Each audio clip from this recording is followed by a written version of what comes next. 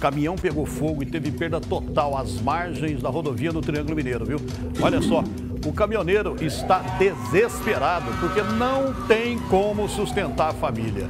Olha isso, acabou, mas acabou com tudo. Isso não dá mais nada, isso é ferro velho puro, né? É perda total, vamos ver.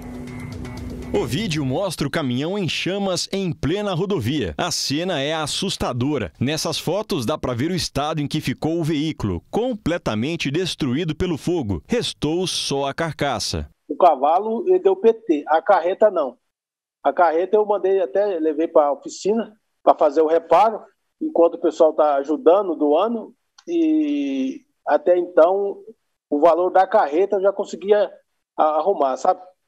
A carreta já, já vai ficar pronta, acho que dia 20. Eu creio que ela já fica pronta. A carreta só estragou a parte da frente e ficou em 10 mil reais para fazer o conserto. José Carlos é caminhoneiro. Ele transportava um frete de Uberaba, no Triângulo Mineiro, para São Paulo, quando começou o fogo no painel. Teve um problema na parte elétrica comigo em Uberaba. Eu chamei o eletricista para estar tá fazendo o reparo. E, e nisso segui viagem. A hora que eu estava passando na região de Sumaré, KM-108 da rodovia Anguera, é, senti um cheiro, cheiro de fumaça. Quando eu, quando eu deparei no painel, estava em chama já o painel.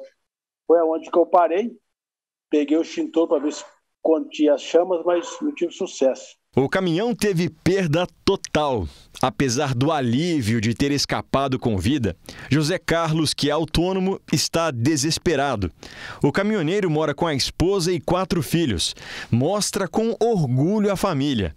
Era com o caminhão que ele levava o sustento para dentro de casa. Todo mundo sabe hoje que é, não é fácil né, para um motorista autônomo se manter em dia, né? E no momento que eu perdi o caminhão, fiquei sem renda nenhuma, né? E a gente paga aluguel. Uma vaquinha virtual foi criada para ajudar o caminhoneiro, que está sem ter como trabalhar e conta com a solidariedade dos outros. O caminhão não tinha seguro e, para piorar a situação, ainda faltam 25 prestações do veículo para pagar. Esse caminhão era refinanciado, porque eu refinanciei ele para fazer uma compra de uma carreta. E eu fiquei desarmado, né, sem renda. O caminhão que me dava renda não pode dar mais, que deu PT.